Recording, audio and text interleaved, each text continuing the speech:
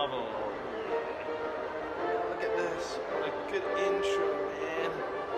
Yeah. Well, uh, I'm with right now at Avengers. Uh, I wonder if they're gonna snap me off the uh, existence or anything like that, but yeah, it's gonna be fun.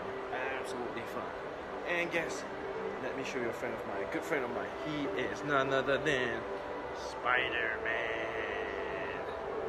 Cool, huh? Anyway, Jack here, peace out, and hope to see you guys soon.